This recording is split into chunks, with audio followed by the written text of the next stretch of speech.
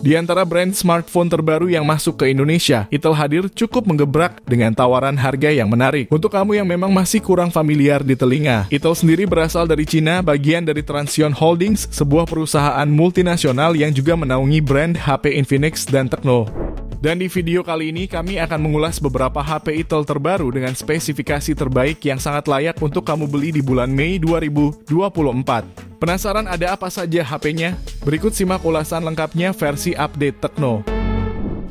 Masuk ke daftar yang pertama, ada Itel S23 4G.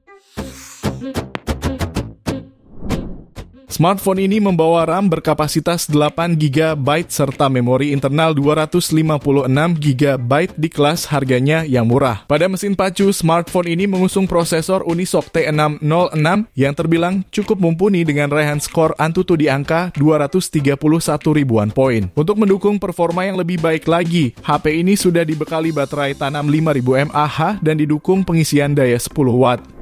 Sangat jarang sekali vendor memberikan fitur refresh rate 90 Hz pada jajaran smartphone entry levelnya. HP ini sendiri mengusung layar IPS LCD berukuran seluas 6,6 inch dengan resolusi HD+, yang akan memanjakanmu saat menonton video.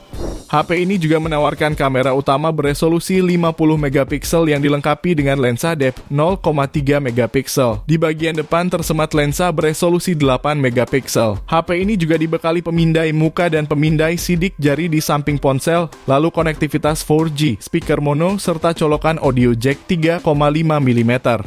Jika tertarik, pada varian 8 per 128 GB HP ini dibanderol mulai 1,2 jutaan. Sementara pada varian 8 per 256 GB dibanderol mulai 1,3 jutaan. Berikut ini spesifikasi dan link pembelian ada di deskripsi atau kolom komentar.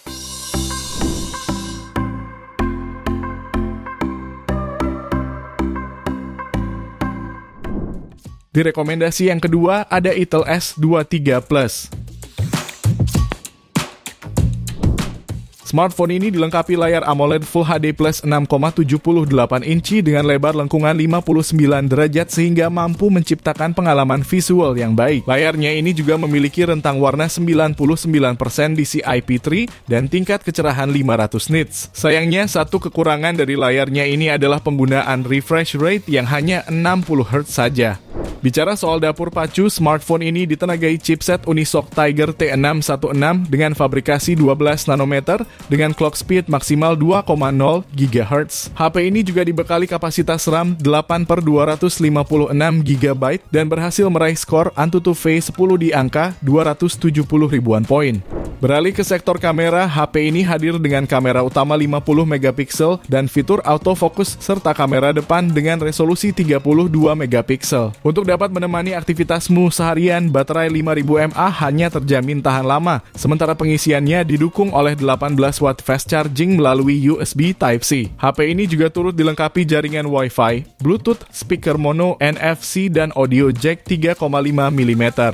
Jika kamu tertarik, HP ini dibanderol mulai 2,1 jutaan. Berikut ini spesifikasi dan link pembelian ada di deskripsi atau kolom komentar.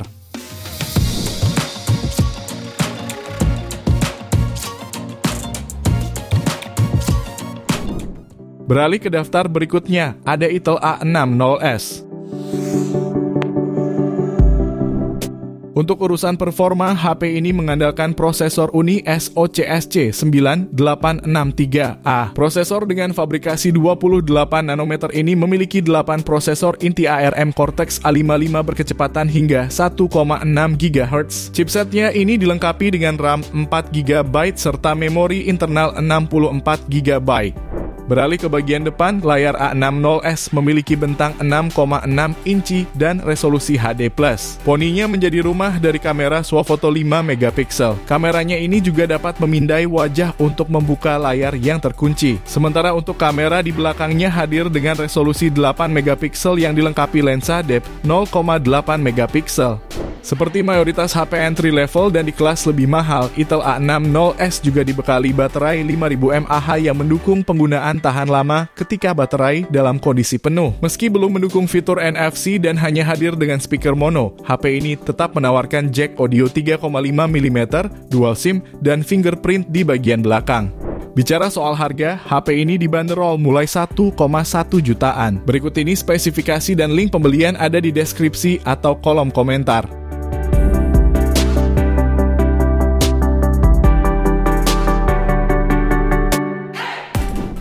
Lanjut ke ulasan berikutnya, ada Intel A70.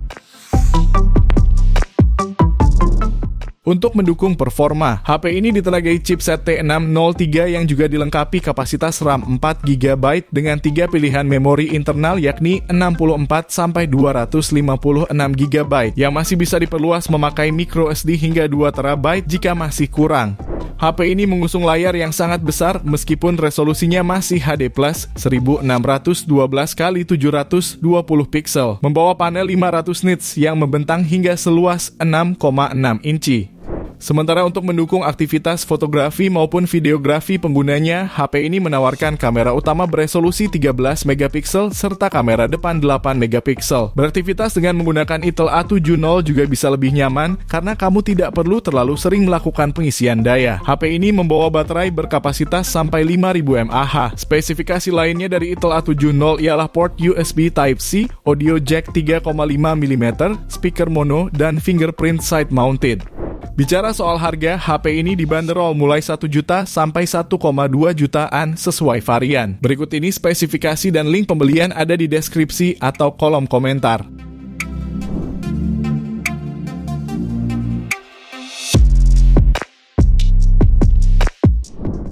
Kemudian yang kelima ada Intel P55 NFC.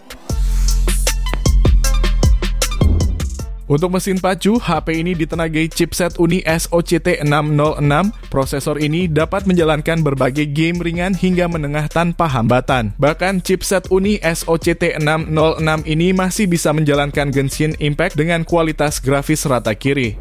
HP ini mengusung layar dengan ukuran 6,6 inci berpanel IPS LCD yang memiliki resolusi 1612 x 720 pixel serta mendukung refresh rate 90 Hz. Menariknya, Intel P55 NFC juga mengusung fitur dynamic bar yang terletak di atas layar. Di sini juga terdapat desain tetesan air sebagai tempat kamera depan beresolusi 8 megapiksel dan di bagian belakang terdapat lensa utama 50 megapiksel dengan dukungan fitur autofocus dan pencahayaan LED flash. Terdapat juga dukungan baterai 5000 mAh yang dilengkapi pengisian daya 18 watt. Sementara di bagian bawah bodinya terdapat speaker mono, port 3,5 mm jack audio, dan port USB Type-C. Untuk harganya sendiri, HP ini dibanderol mulai 1,4 jutaan. Berikut ini spesifikasi dan link pembelian ada di deskripsi atau kolom komentar.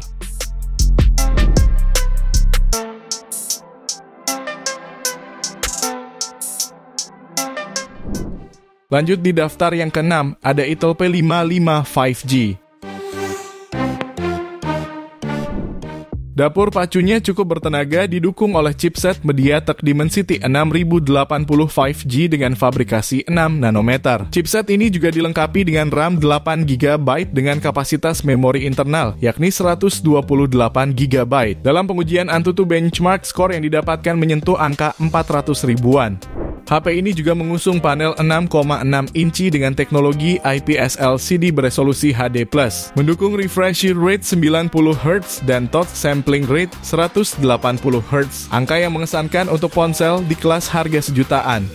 Tak hanya itu, HP ini juga mencoba bersaing dengan kamera utamanya yang beresolusi 50 megapiksel. Ditambah dengan lensa sekunder 0,08 megapiksel menawarkan kombinasi yang menarik. Sementara untuk kebutuhan selfie dan video call tersemat kamera beresolusi 8 megapiksel.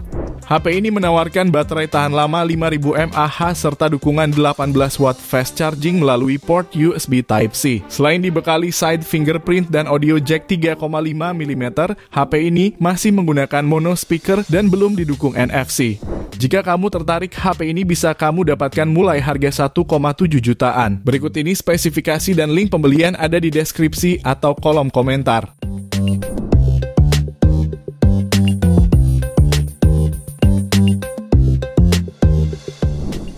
Kita lanjut ke rekomendasi yang terakhir ada Intel Vision 3 Plus.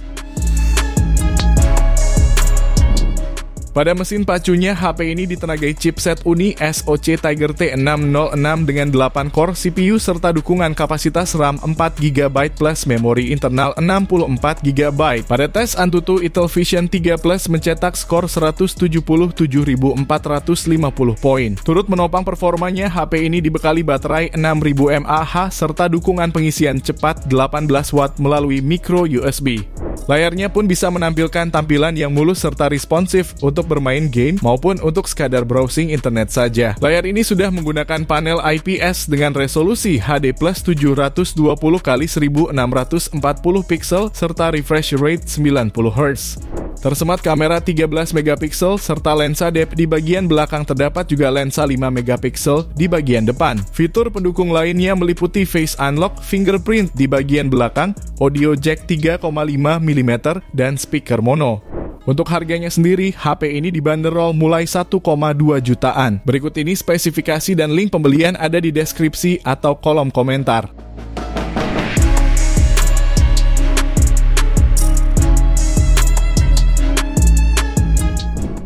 Itu dia 7 HP Itel terbaru yang bisa kamu jadikan andalan versi update Tekno. Terima kasih sudah menonton dan jangan lupa subscribe channel ini serta nyalakan juga notifikasi loncengnya agar tidak ketinggalan informasi update teknologi dan produk unggulan lainnya. Sampai jumpa di video selanjutnya.